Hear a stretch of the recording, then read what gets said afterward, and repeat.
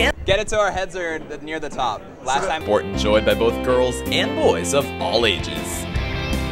Across six annual tournaments, we bring together the game's finest young talent in a celebration of bright futures, big scores, and bigger smiles. We are proud to introduce the new generation of bowling with season 10 of Candlepin for Kids. To see old episodes and for more information, go to www.cp4k.com. Greetings from Park Place Lanes in Windham, New Hampshire. Candlepin for Kids, last qualifying stop of the season. Alongside Dan Gauthier, I'm Rob Taylor. 11 and unders, we saw some big scores, and we're going to see who can make the Tournament of Champions. Yeah, we did, Rob. We saw some awesome scores today. We have some new bowlers in this one. I'm excited. Uh, we've got the orange pin right out for the first box, so that's going to be some real excitement. So, chance to meet some new faces, so let's do that right now. With one of the best bowling names we've seen in a long time, this youngster from Maine teams up with a young gentleman that goes by the nickname Baconator, and he hopes to devour those pins. I don't know what that means, but this is Lane Charlton and Chris Pelletier. Challenging them, a Bogey Lane's native back for revenge after being the runner-up at our last event joins a Central Park veteran who comes from a family of Candlepin for Kids champions. It's Marissa Beaudin and Ronnie DiBiasio. And away we go. Lane Charlton on lane 27. Go get him, Lane. And she's shooting at the orange pin, so if she can get a strike, she'll be entered into our bowling ball raffle, which is sponsored by Paramount Industries. At her side is Marissa Beaudin, who fell at our last stop to the dream team of Michaela Tortolot and Nate Fontaine. Marissa tossed a 99 game at that stop. And she's off and running again this time with an early spare. Marissa was tied for second place today, right, Rob? She had to bowl a one-string roll-off. She did. She faced Courtney Flood in a one-string roll-off. She was on fire in that roll-off, throwing a 120 something. So no surprise, she keeps it going with a spare right out of the gate. Staying hot. And then Lane Charlton next to her. This is Lane's first Candlepin for Kids stop of her career. She came down from Big 20 in Maine. And she did her center proud. Shannon Scribner said she's her protege. Yeah, they were on the same lane today. Both made the show. Scribner threw a 395, which was remarkable. Lane tossed a 295, which was just three pins off from her high triple. And now she's looking at a spare chance.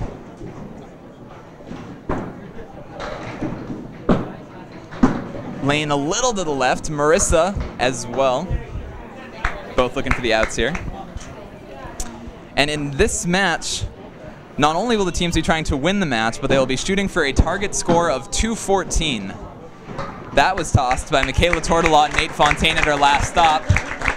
Of course, we take the top three, the three winners from the season advance to the Tournament of Champions. Whoever has the first seed and the highest score gets a bye in the first round. And being at Park Place, a house that a lot of people consider faster, there's a chance to put that big score up and get that number one seed. There is. Marissa's doing her part, too, with a mark right out of the gate. And a good fill. both of our ladies trying to home in on that headpin. Lane listed her proudest bowling accomplishment as getting first place on Candlepin for Kids. Nice bid by Marissa, and she picks it up. Great shot by Beaudin. She's having the career day today so far. She had a great qualifying score, a wonderful one-string roll-off score, and now she's continuing it. And she bowled fantastically on our first stop of the season. She had three marks in that 99 string. Unfortunately, had a one fill and a five box at the end that kept her from getting into triple digits. She just went up against a buzzsaw on Michaela Tortolot that day. Maybe she'll have a shot at revenge with a win here.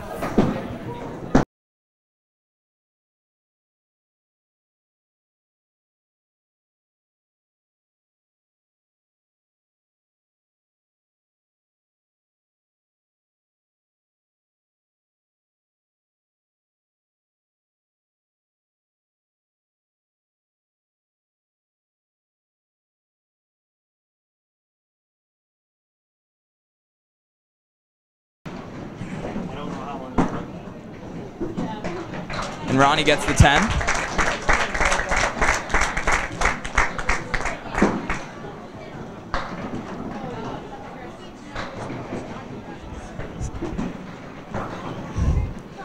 So now Chris racing through here. Ronnie's going to get a ball in as Billy slows him down. Might be tough for Chris, who's not really used to bowling box by box. Having to settle back in. It's Tough for everybody coming on the show the first time. There's a specific format we ask them to bowl in. They'll get a chance to think about it a little as we go to commercial, though. When we come back, we'll have the Smoke the Shoe segment, and I'll be bowling with little Jesse Escobedo. Well pronounced. Or something like Yeah, that. Yeah, you nailed it. You nailed it. We'll see if we can keep the ball under 10 feet high. Nice out by Ronnie. So going into the break, Marissa Beaudin built up a big lead. We'll see if they can chip into it. Come back for Smoke the Shoe. Hi, I'm Dan Shugoth here. Welcome back to Candle for Kids, my favorite segment. Your favorite segment too? Smoke the Shoe? Yes. It's your first time bowling with us, right, Jesse? Uh huh. Anybody call you Jesse James? Yes, my friend Aiden. All right, now I'm calling you too, because you're gonna go in, you're gonna attack these pins, you're gonna shoot them all down, right? Oh, You know how this works. You go up there, you beat me, you get some more gift cards. Uh, we'll give you a $20 mall card if you can get a strike. Do you think you can do that? I think so. All right, I'm gonna go first. You're gonna go second. Good luck, my friends. And my friend Chris Pelletier is going to co-commentate this box with me. So Chris, Shoe versus Jesse. Who do you like in this one? Um, I'm gonna actually go with Shoe because Picking the favorite. um because he's been practicing. I've seen him practice a lot beforehand, and he's been throwing some really good balls. So. Isn't it a shame that you think that Shoe's got to do all this training to take down Jesse? Jesse with a nice little first ball there. Have any advice for Jesse, do you think, up there? Um, really just to stay calm and just stay stay focused. Jesse with an opening here. And he's putting it on that head pin. He's all over it. Almost carries it. So now Shoe is going to need to find a way to get four of these pins. Jesse is lighting the crowd on fire. Shoe goes right. Jesse has smoked the shoe as he tosses the victory ball. Crowd is yelling to finish him, and he's all over it. Jesse has smoked the shoe. Join us after the break for more exciting action. Awesome bowling by Jesse. Thank you for joining me, Chris. No problem.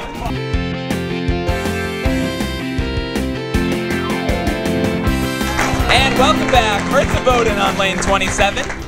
Go get him, Marissa. She is filling a spare and setting the pace right now. 57 and a ball half. That makes it 63. Uh, another six fail for her. She's throwing six fails. Lane looking to mount a comeback though with a hammer out of the gates. Lane Charlton, Marissa looking to answer. What a shot by Beaudin. Fireworks out of the gates here. Arm pump for Marissa Beaudin. These kids are showing the adults who's boss today, huh, Rob? Darn right, our Division One is the best out there. Lane a little ahead of the game. She's all over that headpin looking for the double. That was close to it. She would have got bowling ball raffle tickets for that. You're absolutely right. Marissa with another spare leaf just chipping away. Same with Marissa. She's trying. She gets this mark right here. That's three in a row, and she'll get a bowling ball raffle ticket. It's got If a she chance, does it, I think it's safe to say we've made it too easy for him. Will it cover? Lane looking to home in on that single, just missed. Both girls just barely missing their spares. Marissa a little off there, so Lane's gonna get a few back on this one. All over that 10. Nice single pin pickup there by Lane. And a reminder for the folks at home, the target score is 214. Right now, Marissa's certainly on pace for that, and if Bo- Lane yeah. and Pelletier can mount a comeback, they'd be in great shape for it Beaudin too. DiBiasio definitely making a run at that top score. Now, The other member of that tournament of champions is Sage Johnson and Cole Fry. They tossed a 210 in their first stop of the year, and right now we are looking at a loaded Division One. it is, I think it is the most talent pound for pound in Division One right now. What a bid by Lane! That seven pin came off the wall and nearly caught the four, and she was looking at a shot at that spread eagle.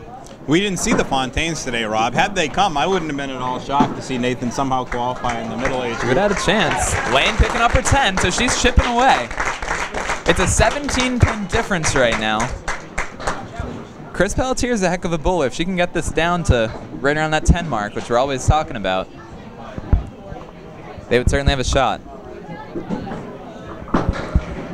Beaudin just off. We've had several matches this year, Rob, where the ladies have dominated the boys, and this is another one here. In this age group, they've taken them the entire way. I think every single. I'm looking at the sheets. Nate Fontaine was the only one to score better than his female counterpart when he tossed to 111 and Michaela tossed to 103. But other than that, the girl has scored higher than the boy in this age group all year. They do say Lane makes a pretty shot. That's exactly what the doctor ordered. they say the girls are ahead of the boys in development up till around age 12, so they get a little bigger, taller. A little bit, yeah, that might Stronger. factor.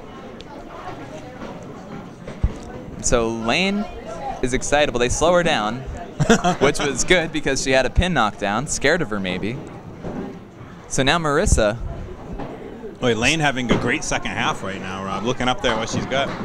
Marissa carries the extra pin and gets some friendly big, wood. Big, that couldn't big have gone much better right than that. there. Marissa looking for the highest single in this age group all year. That was done with the 113 by Sage Johnson. And now we have an Oh, orange pin for orange Lane. pin. So as if the stakes weren't high enough already, Lane's just off. Tough to fill. Marissa's going high and just sneaks to the right She of it. Held on a little longer on that ball than she usually does. And out, very important here for Lane. See if she can sneak two more. So a strong 111 game by Marissa Beaudin. Marissa Beaudin's mom's such a good bowler too. She bowls in our uh, Monday league. Runs in the family. Oh, it does. You can see takes after her mom a lot. Very good ball. And a 102 by Lane Charlton. Her average is 85. So That- she goes 17 over. Marissa goes 24 There's over. nothing wrong with a 102 game from the girls out of this age group. A very superior game. And so now the difference is 14 for Chris Pelletier to try to chip away at. Like you said, not unsurmountable by any means. Chris can get hot as well. 121 high single for Chris Pelletier. Ronnie's 116. Chris was just a little off that head pin in the first half. If he could get on that, I think he'd see some good leaves. It is easy to be off that head pin here, Rob. I can tell you from experience. You can be just an inch off and you might never get a good leave. Especially when you only have one string to try to find it. Chris finds it and picks up the spare. Great shot by Pelletier. Bows at the pins afterwards. Ah, I don't know what that one is, Rob. I think all the kids are trying to outdo each other with their little dances now. Look at I you blame eating it on Ray fries. Lewis. You're like Terry Francona over here. Try it. Unbelievable. All professionalism on this show. We're all about it. How fast good, can though? Don Orsillo eat a hot dog? See if you can beat him. One Rob. commercial, break. I'm saving until between. So the lead down to, I believe, 12, minus this ball by Pelletier. Pelletier gets some nice action off the headpin. Ronnie did too. So it's single digits now and both looking at spare leaves. Yeah, but it's now officially a one-mark game. You can tell Chris is itching to throw each ball. Ronnie on it and picks it up. Great shot by DiBiasio. Pelletier veers left there. So nice job answering by Ronnie.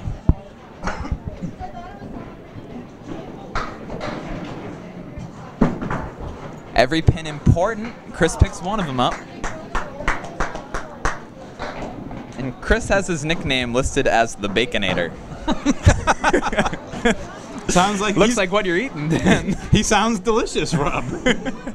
So now Ronnie on the fill, off the head pin, carries a bunch. Seven, make it eight. a strong eight with good wood too. Pelletier gets a little excited. He just makes cut a pretty the ten shot into though. the nine. How often do you see that? So now Ronnie with a shot.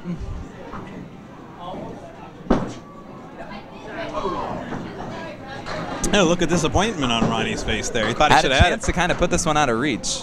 It's still going to be tough. Different 16, so out's important here. One gets away from him, so Pelletier with a chance to catch up a bit. Uh, Baconator's going to want a big out.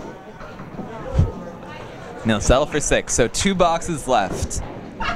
Difference of 18. Two big marks, still within two. Almost got to start looking at, maybe not double strike, but you got to be close. Well, in this age group too, your opponent can throw a bad box and let you. Always true. Well. Chris has the orange pin, so if he could get himself in that raffle, he would get things close. Chris just off that head pin. he's up to eight and counting. All he's got to do is hit that head pin. Maybe even not. If he's a little right, that wood'll probably swing back. Uh, Ronnie says, A little Uh-oh. off. So now, opportunity for Chris. He's just to the left of it. "Yeah, yeah." So now he will need to double strike, and that. A lot of frustration shown right there. I know. We'll We'll see what the out is for Ronnie. He gets six. Chris finds that head pin. Chris So he'll need a mark at least. You can tell Chris is a very this. intense bowler. He Oh, always and he's told me in the interviews that sometimes he always has to focus on staying calm because it's the sort of thing that if he gets too excited, then sometimes Uh, balls like get away, as they do yeah, with anybody. yeah. So you know he's focusing on it. Would love to throw a good first ball here. Ronnie is gonna force Chris to double. It's a great first ball by Ronnie. I think if you're Ronnie, I think you go for that wood on the right of the five and hope you can bounce your ball across the lane. Chris needing a strike to stay alive. He's off. So now we look at that target score. If Ronnie marks, they're gonna have a shot at it. Let's see if he goes for the wood, Rob. Tries to cut it clean. clean. A heck of a try. So our first round match is set as Chris makes a nice run at that 10 pin. It's going to be Sage Johnson and Cole Fry versus Marissa Beaudin and Ronnie DiBiasio. That's going to be a heck of a matchup. It'll be a fun one. 93 finish for DiBiasio. Pelletier gets no luck at the end as well. Some great bowling by our youngsters. Come back and see if any of them can hit the high-low jack. High-low jack time. Marissa Beaudin ready to take a chance at it. She has a good ball for it. She was one of the only two kids who did not make it last time, trying to this time. Goes That's a a- little right. I like the way her ball has that little tail, and if she hits the right side of the head pin with that ball, and the ball's already going right, she's got a good chance of making it. Looking to still add some bucks to her gift card, just off. It's going to be impressive when she makes it for a 10. Marissa's gonna be on our show for the third time for these NESN episodes, so she's becoming a veteran. And it seems like as she gets used to being under the lights, she's getting better every time. Nice try there by Marissa. So now it's Lane Charlton's turn. Now we'll get to see if the next rack has a high-low jack set up. Not quite sure if we expect it to or not. Dan, always faithful, always optimistic. And it doesn't. Lane just off. Chris Winiarts is gonna run down after Lane finishes her box and knocks something down. What's up? Leave it recording, yeah. And so now Lane gonna make a play for a Big Ten. Hey, if she doesn't hit anything, we may not even have to reset that lane. That's true. That'd be nice. And Lane a little off. Don't Leave it, Lane. And so now Chris is going to run down and take him out. Ronnie DiBiasio can step up. And you are watching our cameraman, Chris Winiarts. The man behind camera one. It's been at all our stops this year. Big Scott Pilgrim fan. Lovers movies. We could be a pancake if we hit the button on him right now. And so now, uh, I don't know what that joke was. but yes, You you know, could. squish him down like No, a pancake. I gotcha. So Ryan DiBiasio now making a attempt on an iconic shot, just off that headpin. Not quite the same magic we had last time. Not yet, not yet. Long way to go. It's gonna be off Long to Chris go. Pelletier at the end. I think he'll put one on the head pin. Ronnie is proudest of his throwing a double strike when he was just six years old. Wow, that's pretty cool. They get started early in that DiBiasio family. We almost saw a four-year-old do it at our last roll-off. It's true. And a little off. So now Chris Pelletier's turn. I think we'd see quite the body English if Chris were to get this. Oh one. yeah, I think it's it's Might worth watching just for that. Might make up for his disappointment if he makes this. Chris did bowl over his average in that match. He's just off it. I thought he was gonna hit it. We had a bad angle. It looked like he was gonna be right on it. Looked like he was on it. Chris was actually just under his average. His average 91. He tossed an 88. Had a little bit of trouble homing in on that head pin. He's a guy who's got a lot of potential, I think, moving forward into the older age groups. Oh God, every one of these 11 and unders that we have has so much potential. Chris unable to make the shot. We will talk with him and the rest of them after the break. With the big scores we were seeing at Park Place Lanes, the pins looked lost, so we asked our kids for some tips on how they were knocking them all down. I'm not really used to bowling on these lanes, so it's new. But I came up with a technique. I just like throw it down the middle. Just take your time and don't try to rush things like I need to try to do. The pins are stiff. So if you have a curve, it's an advantage. If you're a straight ball thrower, it's less of an advantage. I feel like I'm getting lucky. What I was trying to do is that I kind of examined in the wood and see where would it hit it, so that's why I would get all the pins down. And what I would do is that, especially on those shots, I would take my time a lot just to calm down, focus, and then I would throw the ball. Keep bowling hard and you'll be just like me. Welcome back on Candlepin for Kids. Dan is with our runners-up. Thank you, Rob. I'm here with Lane and Chris. Uh, let me start with Lane. Lane, first time bowling with us today on Candlepin for Kids? Yes. You came all the way down from Big 20. How, how long of a ride was that for you to get here today? Um, like a couple hours. Was it worth it? Yes. Did you have a good time on your first one? Yes. Now, uh, you came down with Shannon Scribner, I believe. She was telling me that you're her protege. Are you two good friends down there, and do you learn a lot of what you know from bowling from her? Yeah, me and uh, Shannon are on a bowling team together. Nice. And is it a youth team, or is it sort of a mixed adult youth team? Youth team. Are you going to come back and try out for our team event that we have coming up in March? Yes. Awesome. It'll be great to see you again. You bowl good. And talk about another bowler with an interesting name. Now, Lane is her actual name, which is funny because we bowl on lanes. But you've got an interesting nickname. You want to tell our folks at home what your nickname is? Baconator. Now, how'd you get that? Um, well, when I was, when last year, I was, I loved bacon. So what I did is that since my initials Who doesn't? and my initials are CP, so I said, how about crispy bacon? And then, um, and then, um, somebody decided, um, like, how about instead of crispy bacon, how about the Baconator? And I'm like, yes. Sounds good. Now, you you didn't quite have the chance to really show off that nickname today. No big hammers up there, but you came close on a lot of shots, huh? Yeah. Just what were you thinking? Just just barely off the head pin on a few? Uh, yeah, my ball wasn't coming off my hand like I, like I wanted. Not like, not like in the first string. Yeah, it make all the difference if you're just off the head pin by an inch. Sometimes that's enough, huh? Right. You're gonna come back for the teams event as well? Um, I, I don't really know because I, I want to, but I don't know if I can. Like, What would our team event be without you? You got to make it. You work on your parents in the meantime, right? right. All right. We're going to let Rob talk to the champs now, but congratulations today on a great day of bowling. Rob? Thank you, Dan. I've got Marissa Beaudin and Ronnie DiBiasio here. We'll start with you, Marissa. Came just short last time. Today you came out of the gates. It looked like you were on a mission. What was going on up there? I don't know, I just felt confident. Was it any different this time? How was it different this time? I don't know, I just felt better because I knew what I was in for because I didn't know what I was doing last time. And it showed on the lanes. Four marks for you. You came out of the gate so strong. What was going through your head in that first half? I felt really good that I was like probably going to win. And you just kept it going the whole way. So now you could get a chance to get a rematch against Nate and Michaela. Is that something that would be pretty cool for you? Yes. How do you think a second chance would go for you? How do you envision that match being? Pretty good. Do you, do you have any words you'd like to say to, to Michaela or Nate? No. No? You'll just talk to him at your home lanes when you have the bowling league?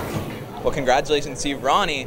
You've been with us for plenty of years. This is your first time on the show in a while. When was the last time you were on our show? I think it was two or three years ago. So how is this time different from that last time? Uh, I've grown, I've gone stronger, and I've gone better.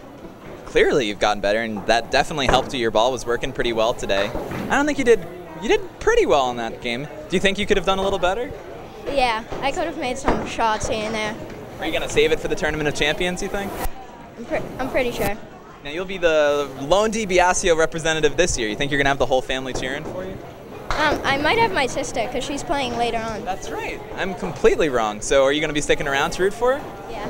What What's your take on that match? How has she been bowling lately? She's been bowling good. Do you have an inside scoop on Justine that you can give us for a match preview?